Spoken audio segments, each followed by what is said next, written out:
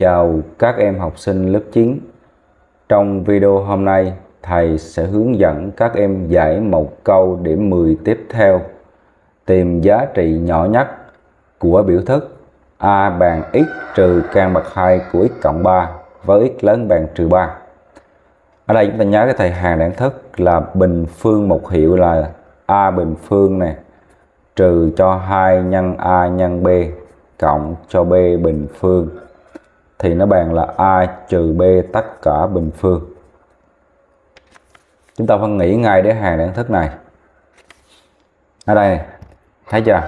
x trừ cho căn bậc 2 của x cộng 3 thì chúng ta sẽ ghi thành gì đây?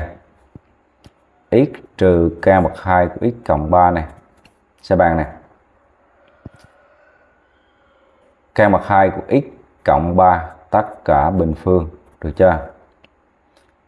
Trừ cho 2 lần. Căn bậc 2 của x cộng 3 nhân cho máy để nó bằng nguyên si cái này thì nhân cho 1 phần 2 thấy không? 1 phần 2 cộng cho 2 rồi. Vậy B của nó sẽ là hai lần AB thì B sẽ là 1 phần 2 vậy B bình sẽ là 1 phần 2 tất cả bình phương. Chỗ này này tôi lưu ý nó chính là x cộng 3 vậy tự nhiên mình có x, mình cộng thêm 3 vào rồi phải trừ cho 3 này chỗ này tự nhiên là cộng cho 1 phần 2 tất cả bình phương thì trừ ra là 1 phần 4 đúng chưa? Nhớ cho này nha, trừ 1 phần 4 đó là ra rồi. Tới đây là ra đó. Rồi xem đây. Ta có nè. A thì bàn. X cộng 3 trừ cho 2 lần căn bậc 2 của x cộng 3 nhân cho 1 phần 2 và cộng cho 1 phần 2 bình phương. Rồi chỗ này cộng 3 thì phải trừ 3 ra này. Chỗ này tự nhiên cộng 1 phần 4 vào phải trừ ra là 1 phần 4. Ok chưa? Vậy thì A nó bằng x cộng 3 chính là bằng căn bậc 2 của x cộng 3 tất cả bình phương. Điều kiện x lớn bằng trừ 3 rồi. Chỗ này là trừ 2 lần. Căn bậc 2 của x cộng 3 nhân 1 phần 2 cộng 1 phần 2 bình phương. Trừ 3 trừ 1 phần 4 nhân lên là trừ 12 trừ 1 trừ 13 và này trừ 13 phần 4 nên là A bình trừ 2 lần AB cộng B bình với A là căn bậc 2 của x cộng 3 và B là 1 phần 2 vậy thì A nó bằng là căn bậc 2 của x cộng 3 trừ cho 1 phần 2 tất cả bình phương. Rồi trừ tiếp cho 13 phần 4 rồi tiếp tục nè. Lưu ý cho thầy là ax cộng b tất cả bình phương thì luôn lớn bằng 0 với mỗi x nghe chưa?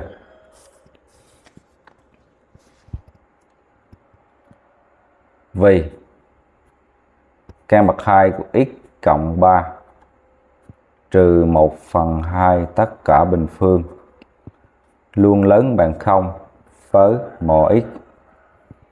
Vậy suy ra cái này cộng cái này trừ thêm 13 phần tư nữa. Là suy ra căn bậc 2 của x cộng 3 trừ 1 phần 2 tất cả bình phương này. Chúng ta cộng thêm cho hai vế, cái này là trừ 13 phần tư nữa. Là trừ cho 13 phần tư này. Đó.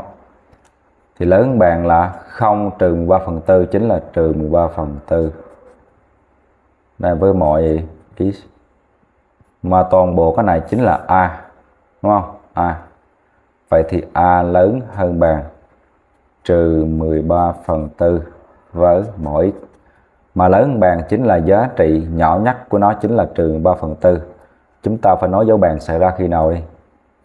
Dấu bàn xảy ra khi nào? Dấu bàn xảy ra khi và chỉ khi do là cái điều kiện là cái này lớn bằng không chưa lớn bằng không thì nó xảy ra khi nào khi cái này bằng không sẽ là khi căn bậc 2 của x cộng 3 trừ 1 phần 2 bằng 0. Bằng 0 chưa? Bằng 0.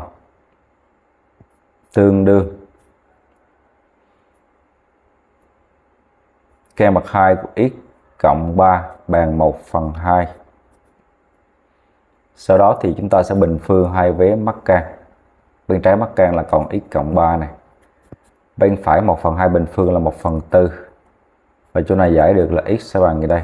1 phần 4 trừ cho 3. 1 phần 4 trừ 3 này.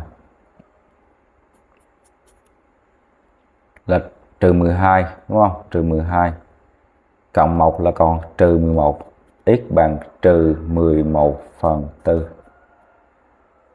kết luận vậy, giá trị nhỏ nhất của A là bằng mấy đây?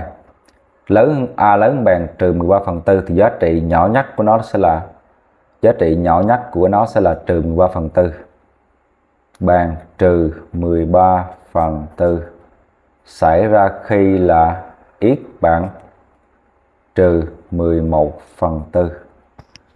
Video bài giảng của thầy đến đây, xin tạm dừng. Cảm ơn các em đã theo dõi. Hẹn gặp các em ở video tiếp theo. Chào tạm biệt các em.